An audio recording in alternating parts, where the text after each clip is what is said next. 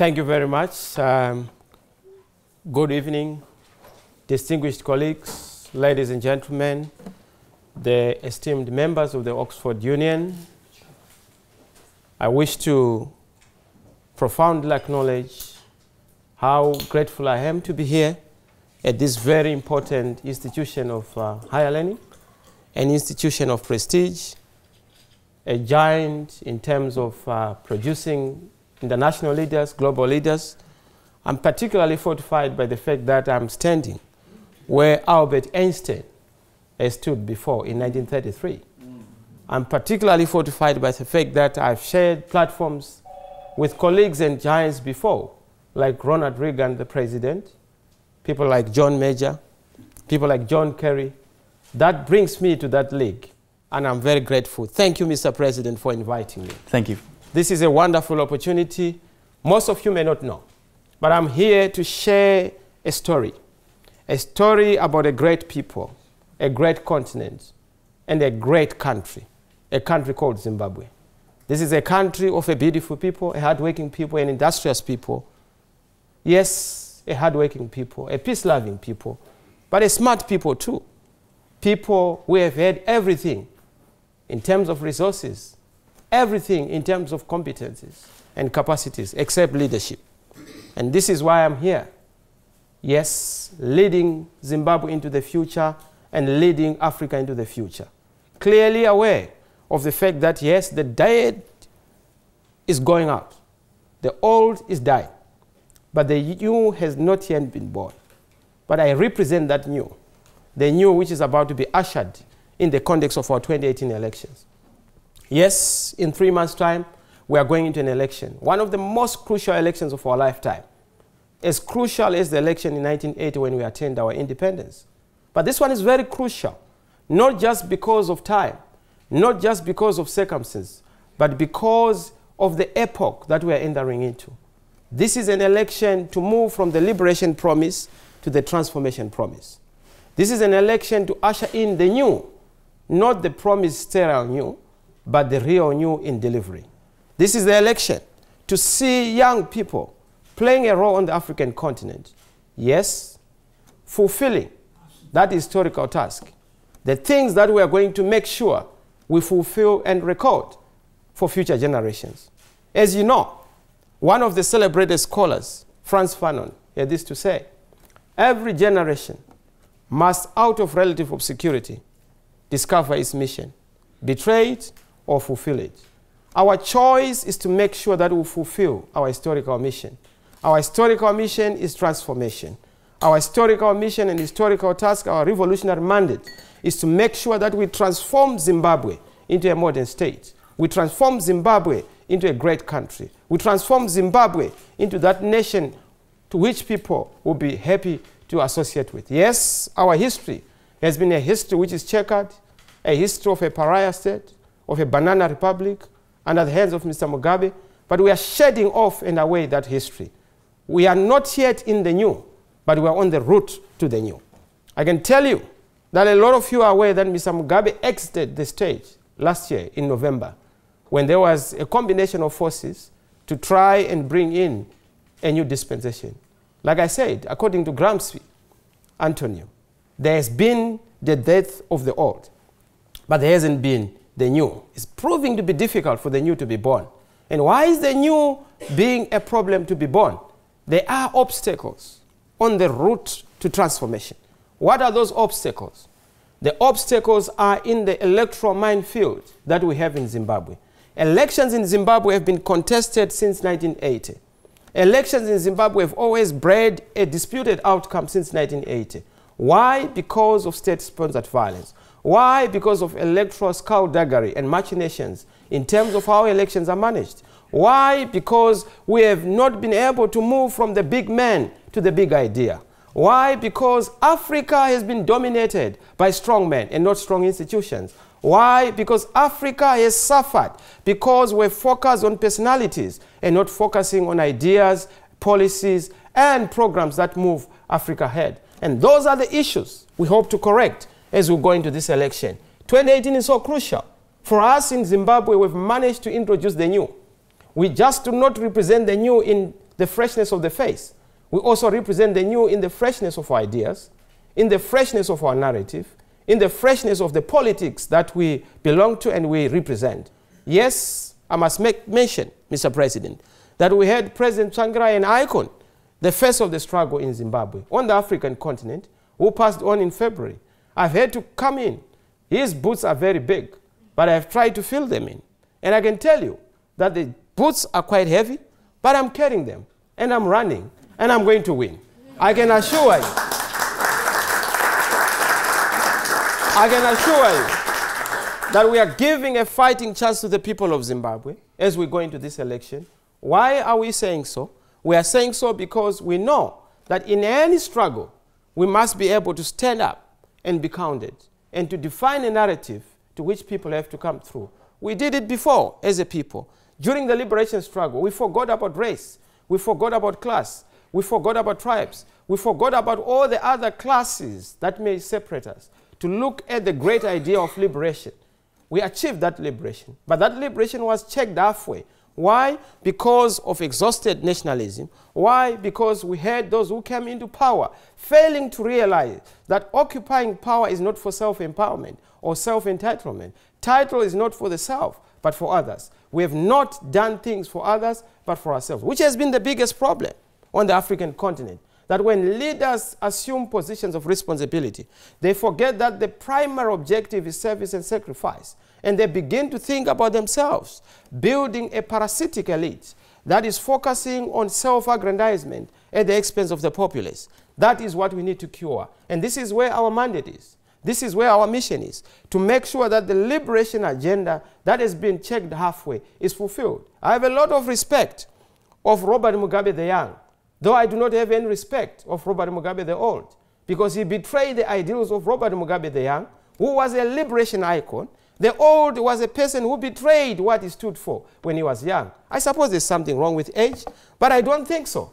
Age comes with wisdom, but with Mr. Mugabe it came along. And these are the things we want to make sure we are able to deal with, particularly for our leaders on the African continent. And this is why I'm saying, as a young man who is an advocate, who is an African, who is a Democrat, who is a believer in constitutionalism, who is a believer in the rule of law, who is a believer in vision, Everything in Africa rises or falls with leadership. Once we get our leadership right, we get everything right. The shortage in Africa is not a shortage of resources, but a shortage of leadership, which is manifesting itself in a shortage of many other things. When you see disease in Africa, you are not seeing disease, you are seeing a death of leadership. That is the first thing we have to cure. How do we cure it?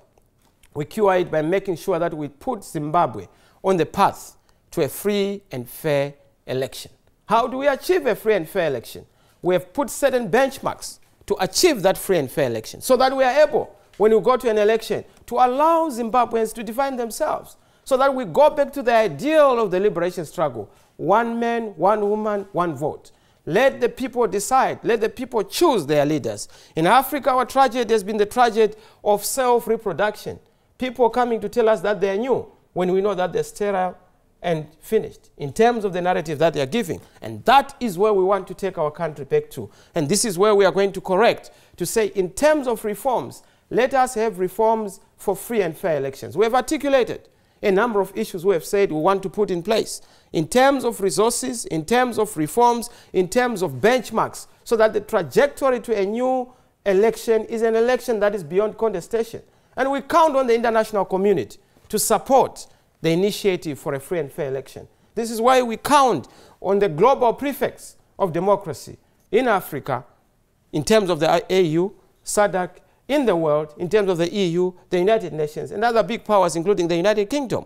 We count on you to put a case for governance, for free and fair elections, and for making sure that we have a democratic election in Zimbabwe come three months' time. What do you want to see? We want to see accountability in terms of the Zimbabwe Electoral Commission, which is supposed to be independent, but not entirely independent. We want to see the putting in place of the issue of the ballot paper and its auditing, because it has been a source of contestation in the past. We want to see the auditing of the biometric uh, voter registration program that has been put in place. We want to also see uh, international observation, international oversight, which is very important underseeing and underwriting of this election by the international community is very key. Those are the reforms we'd want to see put in place within the shortest space of time. Some may say there's no time because there's three months. It's not a question of time. It's a question of political will.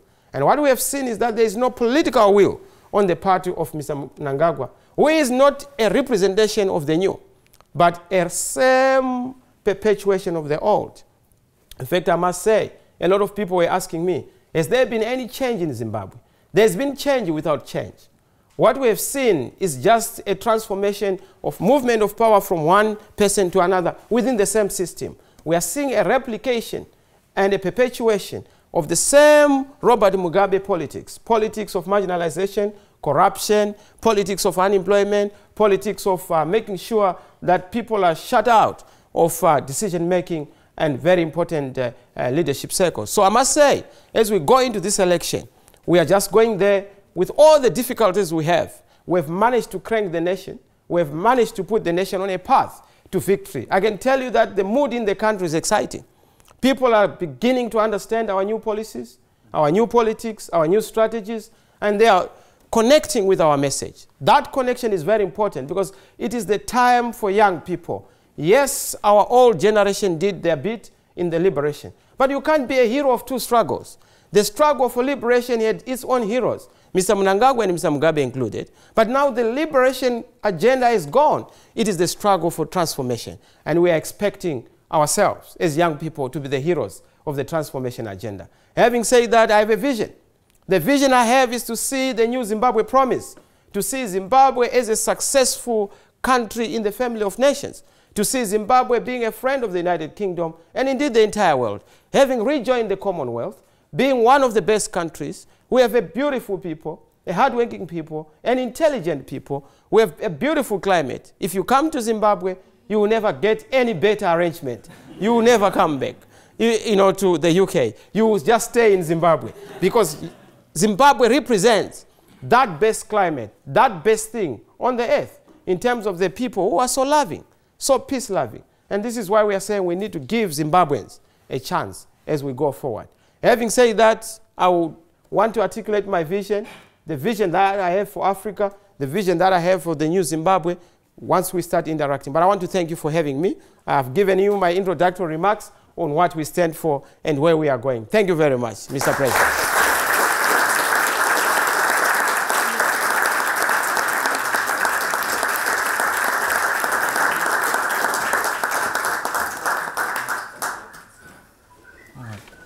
Thank you. Thank you so much for joining us today. Uh, I will ask a few questions before opening up to Thank the you. audience, if that's all right. Thank you. Um, so my first question is, what specifically did Tsvangirai uh, leave as his political le legacy for the MDC uh, and Zimbabwean opposition in general? Uh, what can you learn from his experience in the power sharing agreement? Thank you very much. President Tsvangirai uh, is a trade unionist, a Democrat. He did a lot of things. Among the things that he did was to leave the legacy of working together, the legacy of unity, the legacy of people being able to be humble enough to serve and sacrifice for their own generations. And I must say that as a trade unionist, he did a lot to show us peace and non-violent politics. Mr. Tsvangirai never resorted to arms of war. He was provoked many times. He used non-violence as a tool to engage and to democratize. And that is his legacy. He believed in non-violence. He believed in peace. And that's why we will continue to move on that path. Because what builds nations is not violence, but peace, amidst, and dialogue. Perfect, thank you. So you mentioned um, in your speech the distinction between uh, the old Mugabe and the new Mugabe. Uh, and Mugabe referred extensively to his experience um, in the liberation war, um, and the veterans are still a politically powerful tool. How do you think Zimbabwean politics move beyond these historical issues, um, and do uh, they hold the country back? Well, we have historical issues that are obviously going to affect uh, future generations. If we're not able to build our politics around policies, around institutions, around ideas, around values, particularly values in constitutionalism, values in democracy, values in rule of law, values in making sure that we advance that ability to engage, to debate issues, to envision together as a people, that is what we must do so that we move away and transform ourselves from the politics of the big man to the politics of the big idea so that we follow ideas and not follow individuals. Because when you follow individuals, the demise of individuals, the betrayal of individuals is always going to haunt the nation. This is what we want to correct. Perfect. So um, you also mentioned about the Commonwealth, and Zimbabwe and the Commonwealth nations have a tense uh, diplomatic, diplomatic relationship, whereas Zimbabwe was suspended in 2002 for breaching the Harare Declaration. Uh, what do you think of Zimbabwe's relationship with the Com Commonwealth moving forward? Uh, and if elected president, would you in intend to increase diplomatic ties? Well, I must say that uh, Zimbabwe must be one of the celebrated centers of democracy and good governance, rule of law. Once I become, and I'm not saying if, but when, when I become president in July, I'm going to make sure that the first thing we do is to take Zimbabwe back into the family of nations so that we remove our banana status and banana tag and this pariah status. How do we do this? We're going to do it by making sure that we respect the values and norms that are internationally set, particularly in the Commonwealth. In particular, the 1991 Harare Declaration uh, in terms of the Commonwealth. Those are the dictates we are going to respect. And I can assure you that, uh, yes, Zimbabwe will be a respectable member of the family of nations once we form the government. We are not going to be butchering our citizens. Instead of protecting the people, the current state has been persecuting the people. We need to reverse that so that we have a caring and a sharing state, a very developmental state, a democratic state that is able to feed and address the concerns of the citizens. Absolutely. Um, so a recent High Court judge says that the issues of legitimacy uh, and the MDCT cannot be re uh, resolved on popularity basis. Uh, could you explain the legitimacy problem that has arisen and how you intend to solve it? Well, I'm sure you're aware that uh, all transitions are always difficult. We've had one of the most unfortunate developments in our party that we have lost the icon, the founding father of our party, uh, Dr. Richard Morgan Tsvangirai. So we've had to move from that situation to try and make sure that we put in place a vehicle that will win elections, particularly in the context of the uh, uh, Broad Alliance, uh, the Grand National Union, uh, the broad convergence with other political parties. So we have an alliance that we've come up with, with seven political parties. Within that context, we've had leaders who have not been comfortable with unity. And it's so surprising how unity has become the source of disunity. Uh, the pursuit of unity by other political parties also caused certain members not to be comfortable with certain arrangements. And this is what has caused other uh, members to choose not to be part of the Grand Union. But you know that unit is less costly, unit is the winning formula, and this is the direction we have taken, that we need a grand coalition of all the progressive parties, seven of them. Of course, we are still reaching out to others so that we are able to mount a formidable challenge against the ZANU-PF and dictatorship in our country. The return to legitimacy is one of our fundamental objectives, particularly as we go into July. So yes, it's something that we've been grappling with and dealing with, but it's not something that has to be dealt with by the courts. It has to be dealt with by the people. Legitimacy is not conferred by courts, but by the constitutions that uh, run organizations. And we are so grateful that our constitution is very clear about how we're going to proceed. Um, as a follow-up question, you mentioned the need to be, build a big coalition. What do you think has been the biggest challenges in um, bringing in other political parties uh, to join? Trust, trust issues, confidence issues. You know that some of the members, ZANU-PF has imploded, which is the ruling party. Uh, it has split into almost five parties. So some of the leaders who have been in ZANU-PF, they are now coming to the opposition. We have been the traditional opposition. There are issues around who should then lead that opposition, who should be the face of that opposition. A trusted face, a tried face. We can't have a person who is coming from the S12 ruling party coming to lead the traditional opposition without issues of trust being you know, sorted out. In the past, we've had people who come from ZANU-PF to pretend to be in the opposition, and then go back to ZANU-PF and leave us leaderless. So we have to be very clever and clear in terms of who is going to lead the alternative. Once beaten, twice shy. So we are cleverer, and this is why we are insisting that whoever has to lead the opposition has to be from the mainstream opposition, and those comrades who are also seeing the light have to be part of the grand coalition. Um, so in a recent interview um, in January to the Financial Times, the current president has um, invited the United Nations, the EU, and a lot of in, uh, international organizations uh, to come and monitor the upcoming elections in July. Uh, you've mentioned the need for the elections to be free and fair. Do you think they will be? Very difficult. I mean, once you have a contested process, it's difficult not to have a contested outcome. At the moment, we have contestations around the process. We have indicated to you and to the union that there are issues that have to be sorted out. Issues around the voters' roll, issues around uh, the independence of the Zimbabwe Electoral Commission, which is supposed to be an independent body, issues around um, the ballot paper, the ballot material to be used. Those are issues that are still zones of contestation. We are contesting around these issues because we want the election to be beyond contestation. And we know that without legitimacy, it's not possible to solve the political issues. Politics has been uh, a big problem for our economics. And we need to move from politics to economics so that we are able to transform the economy, make sure that we prosper and give opportunity to Zimbabweans for them to be able to move forward. So yes, the election is going to be contestable if we do not resolve the issues we are currently having.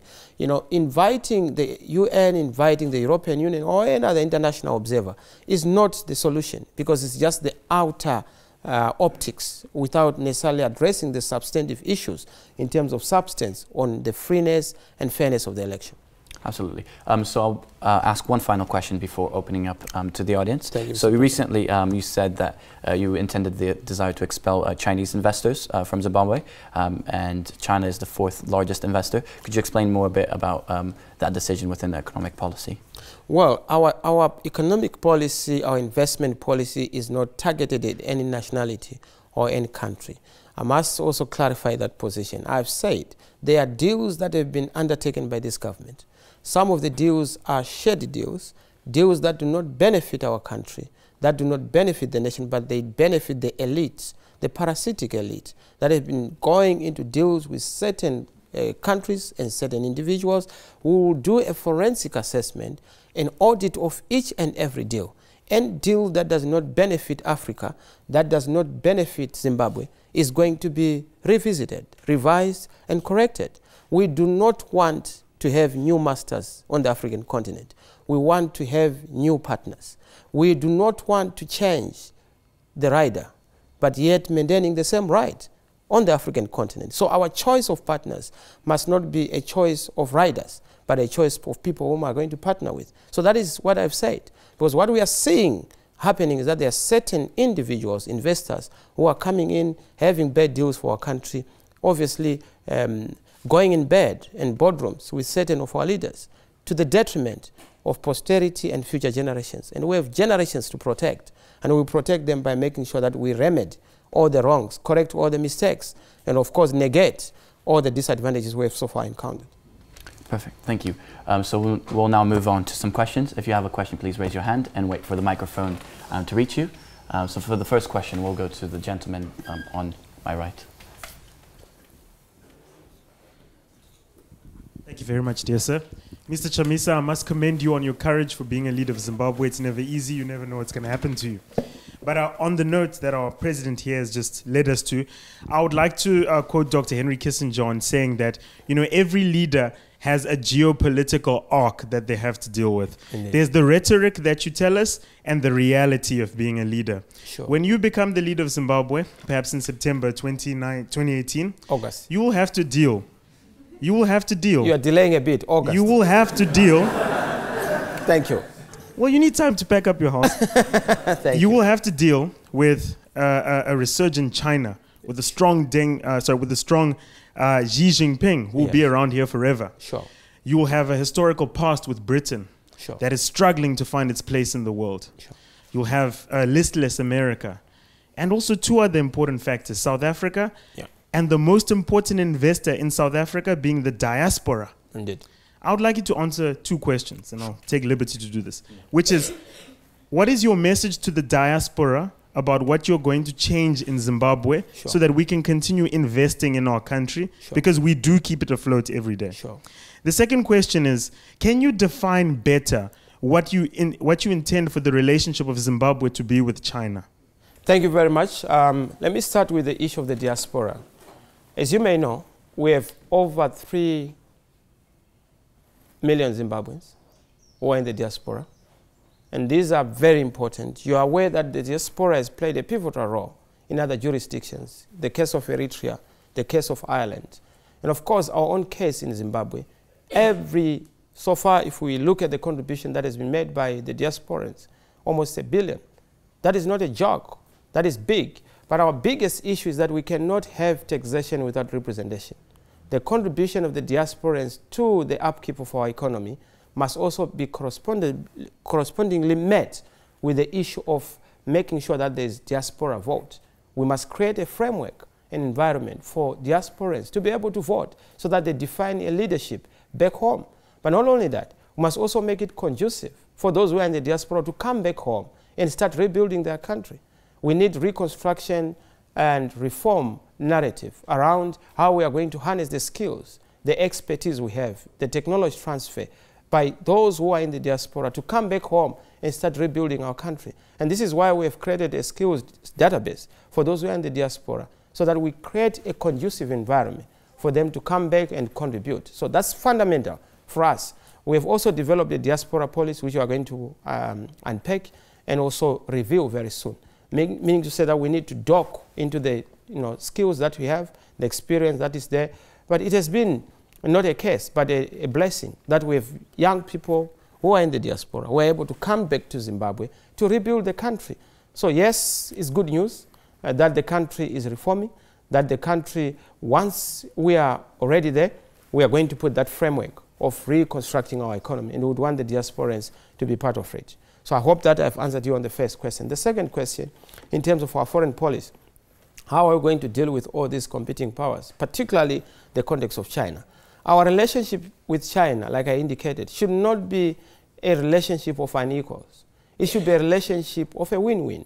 If we are to do business, let's do business on the basis of set values, set norms around good governance, around human rights observance, around non-exploitation of citizens uh, of both countries. That is the basis of our engagement. Yes, China is a big global player, but we also understand the historical issues around our relationship with the United Kingdom. We need to revive that. This cat and mouse relationship with the British government and the British people is not helping our country because we have a historical link that we need to harness and harvest out of, must cream off that important relationship. So the immediate thing we are going to do is to restore good and happy relations between the British and the Zimbabwean people so that we mutually build our countries for the common good. Um, as a quick follow-up question to that, um, mentioning you know the change of power in South Africa, how do you see the relationship between Zimbabwe and South Africa moving forward as one of its biggest trade partners? Indeed, we must have a strong region.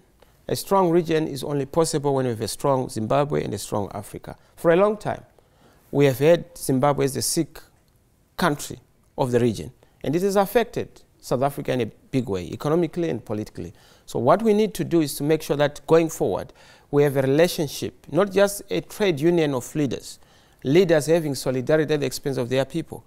We need to have a cross-pollination of ideas around building a strong relationship of citizens so that we build a common market, we build a customs union, and of course a monetary union to strengthen our region.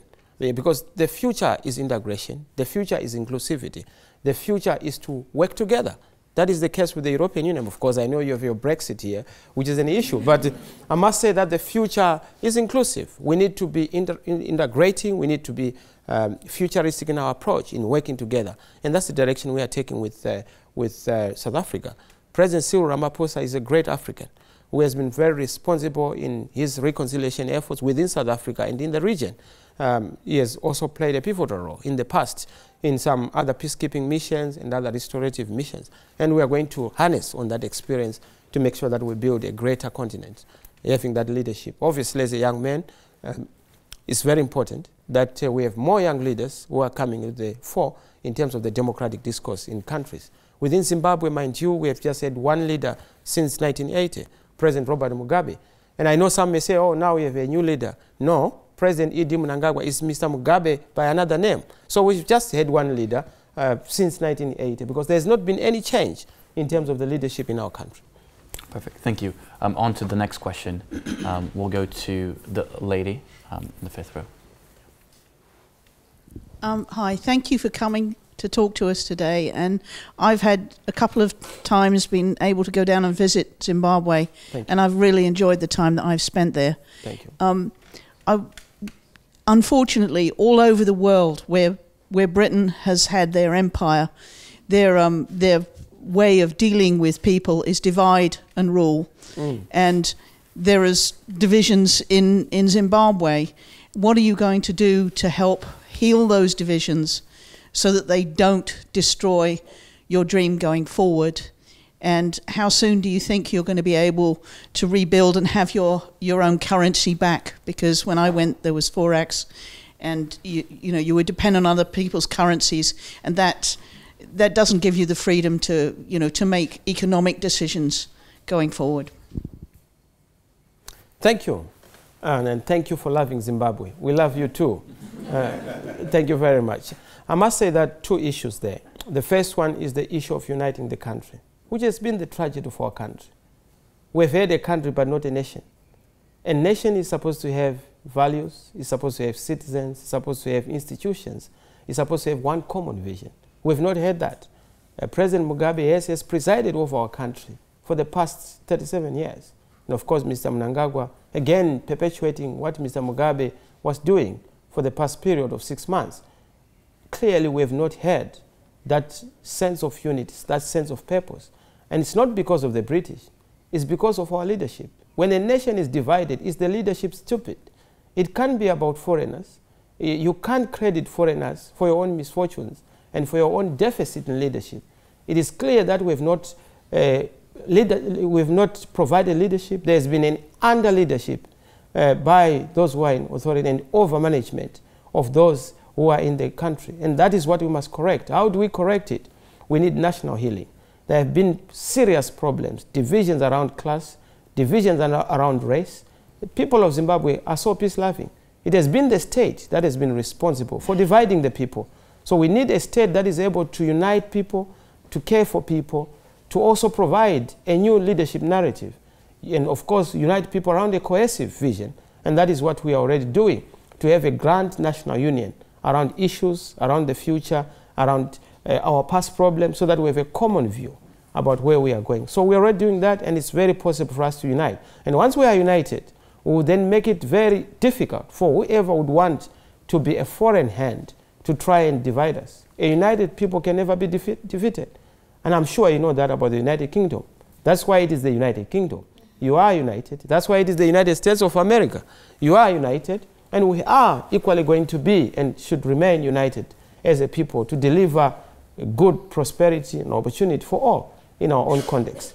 In terms of the other issue, which you mentioned, in terms of our currency, we're very clear that our problems are not simple. But the biggest challenge in our country is not just a cash crisis, it is a confidence crisis. It is a trust crisis.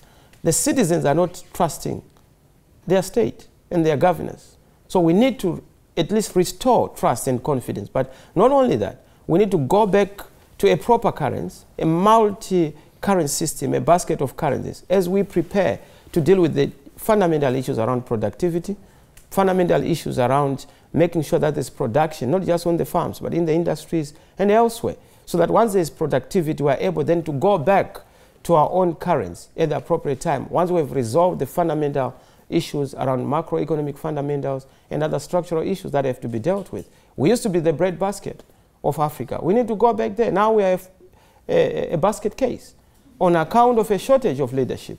We need to correct that and go back to where we were able to produce not just for ourselves, but for the whole world because we have the good soils, we have the good climate, we have powerful irrigation you know, schemes. We need to revive smart agriculture so that we're able to be back on our track. Perfect. Thank you. Um, for the next question, we'll go to the hand just there, oh, with the orange shirt. Uh, Mr. Chamisa, I would like to appreciate the big boots you are trying to fill in, uh, the the Tsvangirai boots. But uh, we understand there were some uh, primary uh, elections in the, in, in the ruling party. Indeed. Uh, in those elections, there were lots of, there were lots of riggings. How are you going to uh, stop those riggings in the next elections? Indeed. And my, my second question is, you have been uh, speaking, you might not have spoken of it yeah, but you have been uh, speaking of uh, devolution. Sure. How long do you think the devolution will start taking place after you have inherited, inherited power? Indeed. Thank you very much. Let me start with the devolution one. Devolution starts in the mind. We must devolve authority, responsibility, power, and resources in the mind. And it has already begun because it has begun in terms of the scoping of our plan and our trajectory for a revolution in Zimbabwe to make sure that things are not centralized in one city or one region. We need to make sure that all the people of Zimbabwe enjoy the national cake. Part of what we are going to do is to reorganize the administrative capital to take it to Midlands. I've already mentioned that. Part of what we are going to do is to make sure that we uh, take resources in the local areas to also develop those local areas, making Bulawayo the industrial and commercial capital, which is the second largest you know, city, but also making sure that Harare itself does not become the center of everything. We can't just take everything to be centered in Harare. I'm glad that here in the UK, things are not just centered in London. They are all over. We need to decentralize. Of course, I know that some may actually disagree, but things are all over. Uh, and we need to make sure that resources are shared equally, and devolution is our next revolution. It will start once we have completed our election. We are going in earnest to introduce devolution, particularly in terms of the constitution, with the provincial councils that are supposed to be put in place to make sure that we localize decision making. We also localize, you know, the making of fundamental positions around policy in the local area. So it's something that we are going to implement soon after the elections. Uh, day one after the elections, you can be sure that will be in place. In fact, we're already putting a timetable of our work plan within 90 days. We must have rolled out issues to make sure that we are in line with the Constitution around what is already contained and enshrined in the Constitution. The second one is in terms of uh, the rigging of the elections. Yes, the perennial problem of the rigging of elections is also one issue that we are grappling with. But I can assure you that the issues we have put in place, particularly around the 10 demands uh, on the peace document which we have put in place, which is the plan and environment for a credible election in Zimbabwe, is indicating the benchmarks for an election that we feel is going to give us a modicum and a semblance of a free and fair election. And those are the issues we are pushing. We've even said that if it means that we are going to demonstrate we are going to go into those demonstrating uh, activities so that we are able to push the current government into not just the lip service on free and fair election, but to act the need for free and fair election. Because right now, they are hoodwinking the whole world to say that Zimbabwe is open for business when it is closed for free and fair election. To say that Zimbabwe is open for business when we know that they are not open for a transparent uh, political system in the country. Those are the issues we are tackling. And we hope that will be supported by the international community to deal with those issues within the shortest possible time. Perfect, thank you. Um, now on to the next question. We will go to the lady in the second row.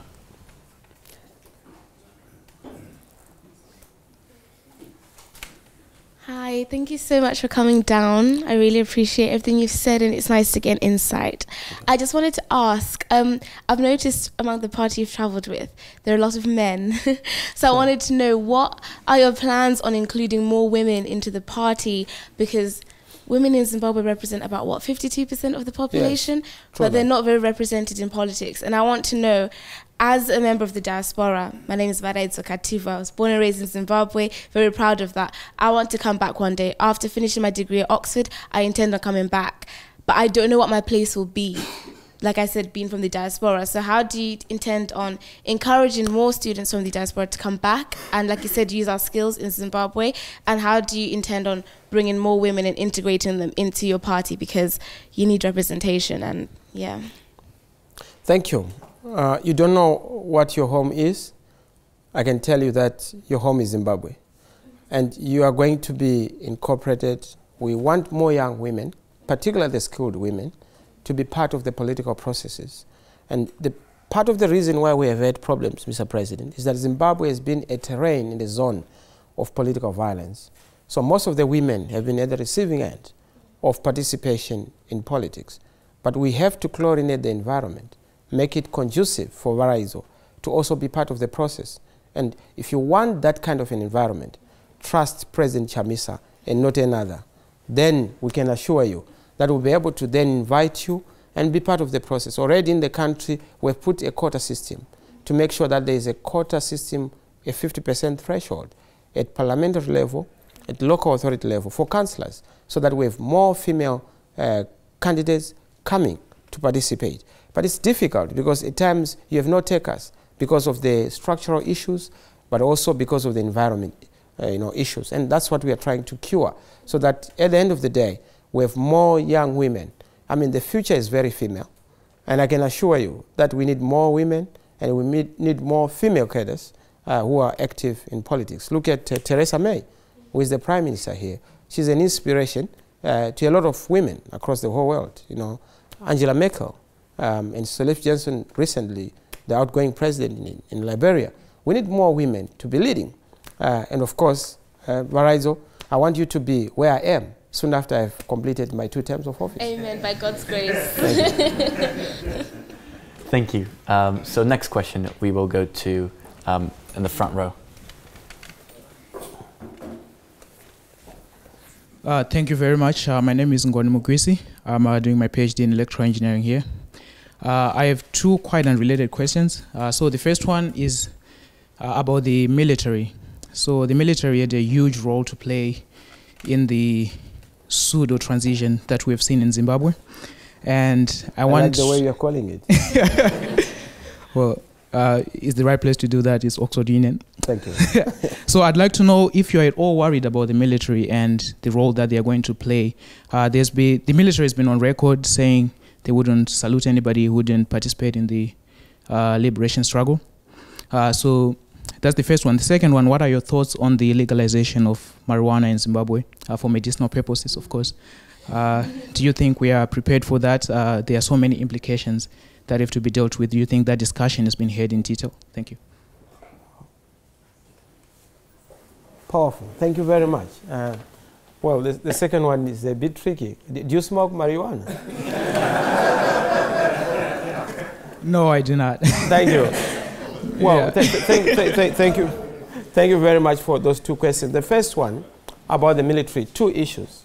The first one is that we are extremely concerned uh, that the military, uh, of course, has played a pivotal role in the politics of our country in the context of what happened in November, but also in the context of uh, what is happening now in terms of elections. In 2008, you are aware of what happened, that the military played a pivotal role. Uh, under normal circumstances, we do not want to see the military in villages or the villages militarized. So we need to demilitarize the villages and devillagize the military. Make sure that we do not have our soldiers out of the barracks in the villages. What we want to see there is the politics of engagement by civilians so that they are able to usher in a dispensation of a representative democracy. So yes, we are concerned, but we are fortified by the fact that we also have a lot of uh, soldiers who are professional, who respect the will of the people, who respect the will of the electorate.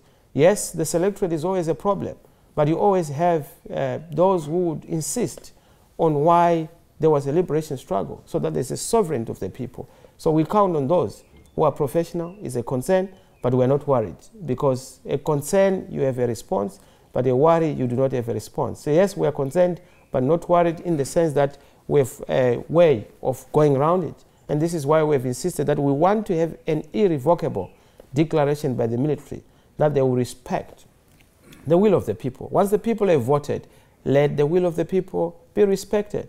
The ballot must be protected by the bullet, not to be undermined by it. But what we are seeing in Zimbabwe is that the bullet seeks to replace the ballot, when in fact the whole essence of going to the liberation struggle was for the bullet to preserve the ballot. And that's how it's supposed to be. In the context of the people having voted, that will having to be protected by all of us through our institutions that are supposed to do it. So I hope that is answered. Now, on the second one, on the marijuana, uh, you know, that one is again going back to the policy making narrative that we need to be able to resolve. Our government operates on the basis of autocracy a lot of policy inconsistency, elite decision making. Once you're about to make such important decisions, which have health concerns, health implications, you need to involve the community and the people. So there has to be an involvement of citizens in terms of such decisions. There was no involvement of the people. It came as a shock. Midnight, uh, the decision was announced. We do not know who is going to benefit out of that, whether the citizens are happy or not happy. There has to be some kind of a consensus in terms of decision making around that. And this is what we're going to review to say what is the view of the people because all decisions have to be people centered. And that's where we're going to go. Thank you. Uh, we have time for a couple more questions, um, so we'll now go to the second row. Uh, thank you. Um, I, I do have two questions, if I may. The, the first one uh, is just one, if that's all right. Uh, uh, yeah, yes, sure, so certainly. No, the, the, the one question uh, pertains to, to uh, environmental matters. As, as we probably all know, um, Zimbabwe is home to uh, a broad and a very uh, beautiful variety of, of, of, of animals, Wildlife, which, man, yes. which many people come to, come to, come to visit, Sure. and, and, and, and we all seek to protect. Sure. Though, likewise, which is also a very controversial topic in this country, is the matter of, of, of, of especially Westerners coming for big game hunting. What, what are, is, is your stance on, on, on this? And do you think is, this is something that should be uh, considered critically, or that this should be um, could be a way of, of enhancing the the um, well e- economic range of of, of, of um, well um, gain, gaining assets and, and income in, in, in, in Zimbabwe? Well, I'm also sure if I got the question right, but um, wildlife is very important in the history of our country, in the heritage of our country. I'm extremely concerned that the current government has been uh, shipping out baby elephants, mostly to China, selling them without the regard to certain protocols that are supposed to be respected. The plunder of wildlife is a worrisome development. And as we form the next government, our biggest issue is going, you know, the lion uh, Cecil and what happened to our lion uh, in Zimbabwe. Those are the issues. It speaks to vulnerability of our flora and fauna, the vulnerability of our wildlife. These are the issues we're going to be focusing on in terms of our environmental policy.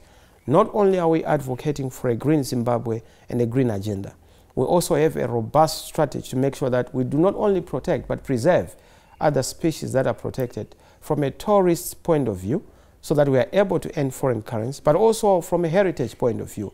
It's part of our national heritage. It's part of a global heritage because people would want to appreciate these God-given resources. Obviously, to be able to do that, you need a government that is sensitive to such considerations around wildlife and its protection. So those are issues that are very key. As we launch our document, our policy document next week, is something that is quite key in terms of how we are going to protect wildlife and particularly animals um, uh, that are in the conservancies. That is implies banning big game hunting. Sorry? Does that imply banning big game hunting?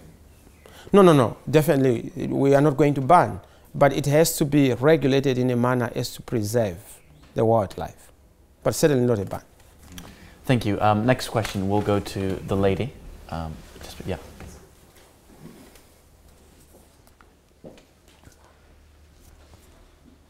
Thank you, President Chamisa. We are so delighted to be here. We're looking forward for this day. Anyway, my question is uh, when we go home, Zimbabwe, we are treated as foreigners, is particularly at the airport. And you're wondering, is this my home? Um, then, furthermore, there's this, uh, we have so many skills. We see some problems. We have some problems, water, sewage, and everything. But we feel that we can solve this problem, but there's no chance. Even voluntarily, there's no way you can do that. Well, thank you. At least one problem solved. Uh, now, because we have a solution there and a solutioner, uh, that makes it easy for, for the country. But I must say that um, we are conscious of the Zimbabweans we have in the diaspora and even in Zimbabwe who are willing to contribute to their country. But it is not possible because our government is too closed. And this is why I said government is open for business but closed to its citizens in terms of contribution on the solutions. We are going to engage all Zimbabweans, yourself included, to find a common solution to our country. I mean, there's no nation which is without answers. It only becomes a nation without answers once you begin to close out those who have answers and solutions. And this is why we want to make sure that we open our country uh, for purposes of debate, for purposes of answers, for purposes of making policies. And our policy is very clear in terms of engaging uh, citizens uh, so that we have a restoration of citizens. Zimbabweans have been treated as subjects where they are supposed to be treated as citizens. And we need to move away from citizens being suspected by their own government so that they are taken as stakeholders who are able to contribute meaningfully to their forward upliftment and development of, of their country. So thank you for that contribution. I think we are together and we are agreed in terms of ushering in a new dispensation. And this is why we are, you know, exhorting you to come and support the effort for transformation. Transformation by voting a young president, the youngest president on the African continent. Thank you. We have time for one final question, uh, and we'll go to the gentleman uh, wearing glasses. Okay, thank you. Um, I want, first of all, maybe to thank um, uh, Mr. Chamisa, but also notably Mr. Biti, the alliance partners who have traveled all the way from Zimbabwe to thank, be here and you. to send this message to the world, which we really appreciate. I was in Bedford yesterday, but I said I should come back here. Want to reiterate the question which was raised at the beginning. I've been here 18 years.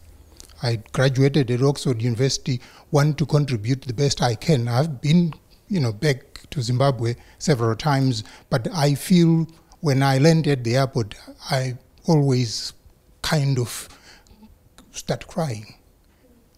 Even now, I don't feel I am Zimbabwean. Now, the diaspora vote is very important. And I want to ask a question and make a statement.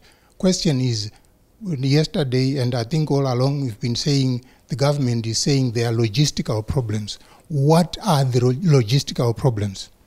We have answers. Every person in Zimbabwe, outside Zimbabwe, Australia, wherever, and I think there are, you know, voters on both sides. People who vote Mnangagwa, people who vote Chamisa, people who vote whoever is contesting we have solutions to whatever logistical problems they may purport to be there. I am, will sacrifice rather than flying to Zimbabwe. I could to vote, but I should be able to vote here at the embassy. We want to have an answer. What are the logistical problems? And Zimbabweans in the diaspora have solutions. We have three months. There is ample time to be able to fix those problems so that we can vote. Well, I appreciate. I mean, I, we're in the same boat. I totally accept that Zimbabweans have to be allowed to vote. It's an emotional issue, but the biggest logistical issue is the government itself. And that is the logistical issue we must deal with. The current mindset of those in authority is that they would want to shut out their citizens out of decision making. They would want to treat their own citizens as foreigners, which is something that we must correct. Now, we have tried to reason with them. There's a constitutional court application that was made. It has not yet been determined. Again, we are pushing to make sure that uh, Zimbabweans in the diaspora are allowed to vote. It's a big issue. It's a big, big, big issue that is going to determine how these elections are going to be pronounced free and fair. Thank you. We actually have uh, time for a couple more questions. So if you have a question, please raise your hand. We'll go to the gentleman uh, in the pink shirt. Thank you. Uh, Mr. Chamisa, thank you very much for coming to us tonight. Uh, I have a question about uh, Mr. Evan Mawarire was here a couple of months ago, and he said uh, he was speaking very eloquently. He was talking about his movement, which he started in Zimbabwe, and he was saying that it was so much about the youth. And you've also mentioned tonight about how how your your movement is about the youth as well. But there seems to be a problem across the African continent, and Evan Mawarire was talking about this in Zimbabwe that he doesn't feel like people have enough faith to vote in a young leader. So, what would you say to those critics? And do you think that something needs to change in Zimbabwe before someone under the age of 60 can be voted into power? I'm sure your answer is going to be coming very soon in July. but I can tell you that, um, you know, throughout the history of nations, it is the young people who always are the center of revolutions. You talk about the French Revolution, the Russian Revolution, you talk about the United Kingdom. Total transformation is impossible when young people are engaged and when young people are taking charge of their destiny. And I can tell you that within our own situation in Zimbabwe, I've been chosen to represent by the elderly people. I go into the rural areas, there's actually more acceptance in the villages because they appreciate that they need young people to be at the center of decision making on their behalf. Yes, I, I know that there's um, um, others who may think that there's skepticism around young people, but I can tell you that it's not a problem that I've encountered. Where I'm getting my support is from the elderly. Uh, if you look at um, uh, the African continent, even during the liberation struggles, it is the young Mugabe, like I indicated, who were entrusted with the liberation of their countries. Um, you talk about South Africa in the ANC, you talk about KANU, all the liberation movements were led by fairly young people. Um, and that is the nature of all critical revolutions and struggles. This struggle for transformation is going to be led by ourselves, young people. And I'm there to lead. I know that Ivan Mawarire is one of the, he doesn't have a movement outside the movement. We are all together with Ivan and others who are young to look at the common view to make sure that we do what is best for our country during our lifetime. Thank you. Um, so one final question. Um, we'll go to the gentleman. Thank you. Thanks. I wanted to ask you as a lawyer, there's been a second transition, a quieter one, to a new judicial leadership from Chidyausiku to Malaba. And I wanted to ask you for your sense of the position of the, the judiciary, its state of health, the independence of the judiciary, especially the Constitutional Court, at this crucial time. Well, I, I, I, like your taxonomy or classification of this development to say it's a second transition. Uh, that's a very nice one. Yes, I must say that um, the judiciary is an important arm. Uh, justice is the cornerstone of societal stability in resolution of uh, disputes within societies or nations. And in our context, I must say that we have a judiciary that we feel uh, has uh, the necessary latitude to be able to uh, meaningfully uh, deliver a semblance of a, a democratic dispensation. And given the chance, you know, I've worked with them as an advocate. I know that most of the judges are judges whom I know are competent. Yes, you always have bad apples in any basket. It doesn't mean that you must condemn the entire basket. Uh, but I must say that it's a good start, and I think the transition is good. Uh, it's actually um, a precursor to the transition that you are going to see in the political uh, context in this election that is going to come. That is when you are going to see real change. That is when you are going to see a new man who is coming, and you are looking at that new man, and you must be happy that it is a punctuation of what you have seen in the judiciary. Yes, it's a development which is positive, and this is why government has tried to reverse the way our judges are appointed, because they were not comfortable with the process that was beyond uh, manipulation by any of the political players. And this is what we want to uh, continue in the new dispensation, which is about to come in July. Thank you very much. Thank you. Um, unfortunately, that's all we have time for this evening, but please join me in thanking Nelson Chamisa for joining us.